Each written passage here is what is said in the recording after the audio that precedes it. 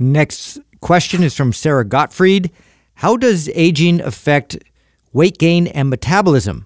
How much of an impact can resistance training have on this? So, aging does affect both. Um, you tend to lose muscle as you age. Hormones start to change, and men, testosterone starts to decline. Of course, women go through menopause, which is a huge uh, hormonal shift. Um, you lose strength as a result of the weight loss, the muscle loss. Your metabolism starts to slow down. Mm-hmm. Resistance training. How does it affect it?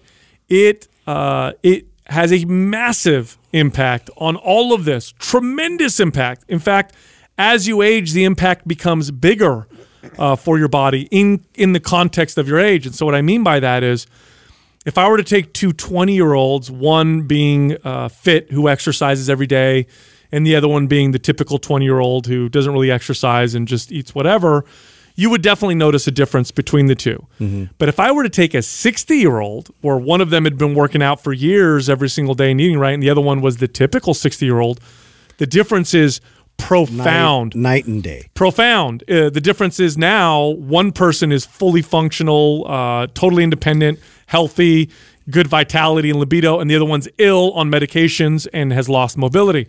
So as you age, resistance training, now you can't, you're not going to fight. It's like you can't live forever. You're not going right. to stop the clock.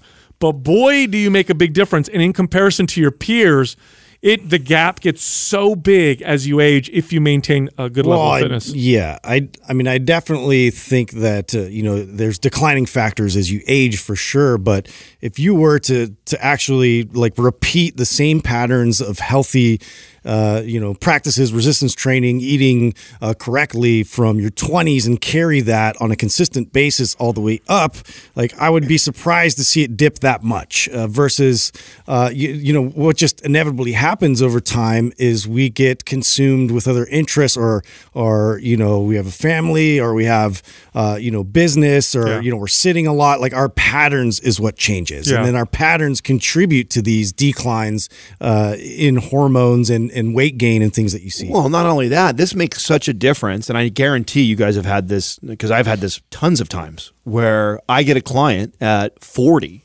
or 50 who's never worked out before. Oh. And I get them training and dieting, and they're with me for a year or two.